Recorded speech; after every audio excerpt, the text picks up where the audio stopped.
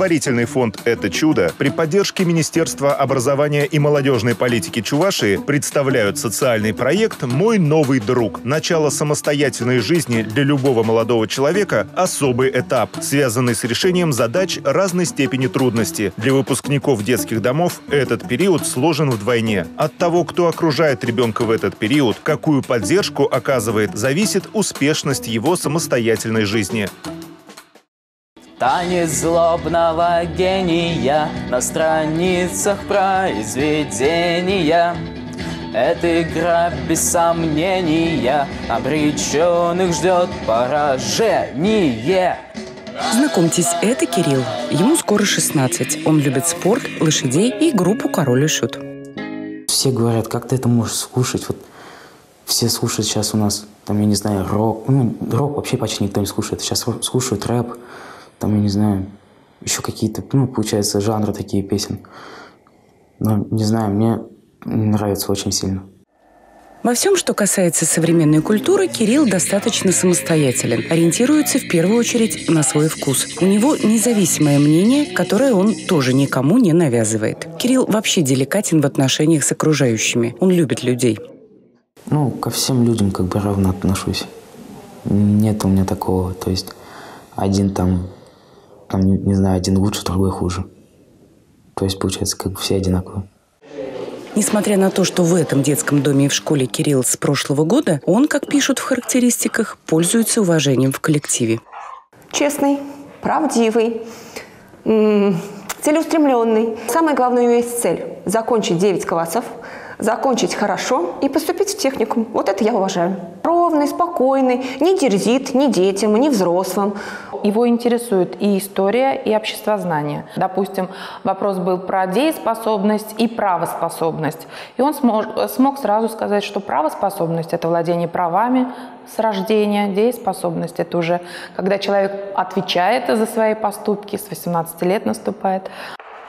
Историю Кирилл действительно любит, особенно военную. Уверен, наша страна должна гордиться своим прошлым, хотя многое еще предстоит переосмыслить. Иногда вот такие меня вопросы мучают. Вот что было бы, если бы сейчас, я не знаю, немцы, вот, например, захватили бы нашу страну, вот что бы сейчас было? Как бы мы жили? Вот даже если, даже если не про войну, вот даже, вот, можно сказать, вот, что бы сейчас было, если бы СССР не развалился? Вот как бы мы сейчас жили? Я вот воспитателям постоянно задаю этот вопрос. Раз, два, три. Есть у него мечта – попасть в морской флот. Впрочем, и против службы в других войсках не возражает. Он с удовольствием ходит на уроки ОБЖ, а в свободное время тренируется самостоятельно. Обогнать Кирилла в сборке-разборке автомата мы не смогли.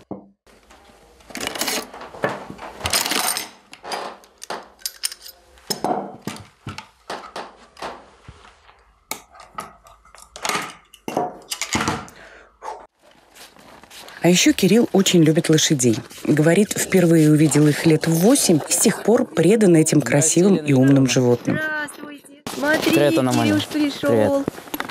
Привет. Пришел Кирюшек. Даже Мороз такого не напугался. Это моя любимая лошадь. Понравилась мне очень. А если человек уверен в себе, добродушный, смелый, честный, вот они сразу как-то вот находят общий язык не каждого еще, не любой может вот так подойти, как Кирилл, погладить, например, и войти в доверие, так сказать, к лошади. С лошадью по кличке Мали Кирилл может общаться часами. Именно у нее он учится проявлять необходимую твердость, когда Мали своенравничает. Вот, пошли, пойдем, пойдем, пойдем. Давай, давай.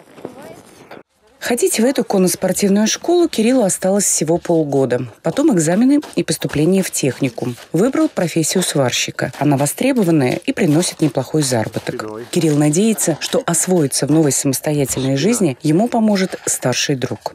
Даже вот просто посоветоваться. Там в трудные минуты хотя бы. Просто даже позвонить, так созвониться, посоветоваться там, как поступить в таком, ну, получается, в таком или ином, получается, деле. Ходить куда-нибудь там, даже вот, например, даже вот просто на залив, на каток, ну, зимой.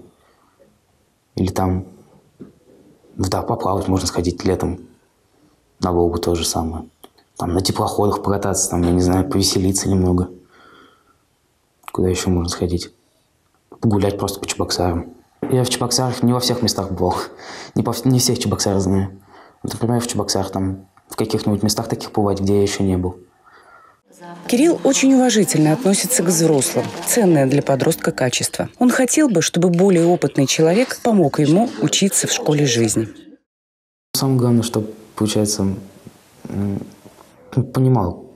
И как? Ну, ругал иногда. Вот как-то так. Направлял? Ну да, можно сказать, да. Так, как бы, а, то есть становил, ну, получается, на, на, ну, на путь такой, получается, более верный. Другом и наставником можете стать вы. Звоните 8 8352 76 68 68 8 967 476 68 68 или заполните анкету на сайте www.наставник21.ru. Специалисты вас обучат, сопроводят и помогут подобрать воспитанника. Для создания видеоанкет и обучения наставников нам необходима финансовая поддержка. Помочь проекту можно, отправив смс СМС со словом «наставник» на номер 3434. Стоимость СМС 50 рублей. На номер 3434. Поддержка проекта Министерства образования и молодежной политики Чувашии. Национальная телерадиокомпания Чувашии. Проект реализуется с использованием гранта президента Российской Федерации на развитие гражданского общества, представленного Фондом президентских грантов.